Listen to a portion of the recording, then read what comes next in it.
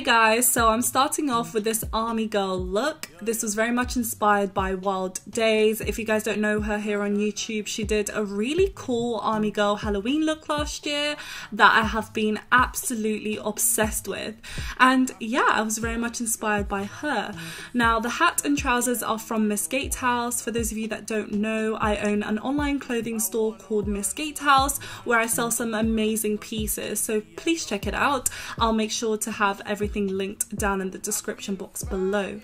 Now, the bikini top I actually got from Brazil whilst I was there on holiday this year, and the top is a DIY from LOTD, and I actually got these boots years ago when Rihanna did the collab with River Island. So these are the Rihanna boots from River Island, and yeah, that's the finished look. Super easy and still very sexy. Perfect for those that don't particularly want to go full out this Halloween.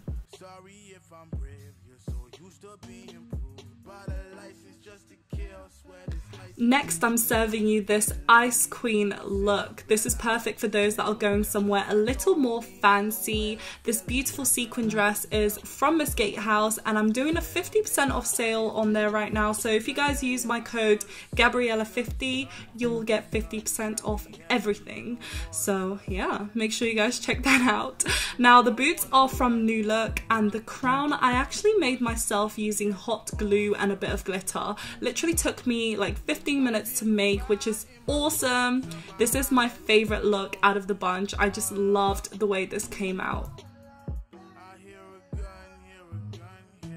For look number three, I've got this incredible nutcracker vibe going on. This outfit is a little bit harder to get your hands on simply because I did design this myself. When I won Miss Earth England, I ended up competing internationally in the Philippines and I wore this Queen's Guard outfit as my national costume. And by the way, I did end up winning the Best National Costume Award, which was amazing. But I just thought I'll show you this look since I already owned the costume.